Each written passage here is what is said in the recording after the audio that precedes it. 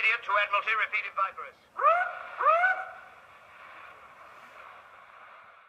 Hello, it's British Legion, and yeah, welcome to part two of uh, the Britannia Battlefleet set from Dystopian Wars Warcradle. And uh, yeah, beautiful set to paint up, and uh, fairly easy to paint really. There's uh, really only two colours, uh, metallic and, uh, well, the colour I used was Cavalry Brown. So we'll take a quick look at the one of the ships I painted, and then we'll take a look at the entire fleet. Right, this is a selection of the colours that I painted the, the Britannia fleet.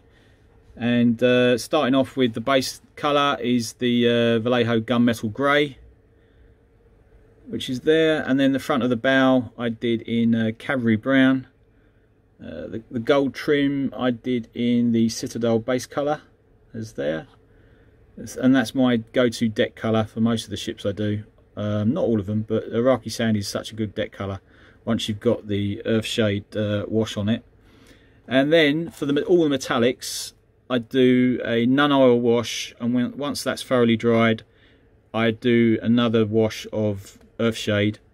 And then once that's really, it takes a while for it to really dry off. Once you've done all that, I just done a light uh, dry brushing of uh, gunmetal grey again.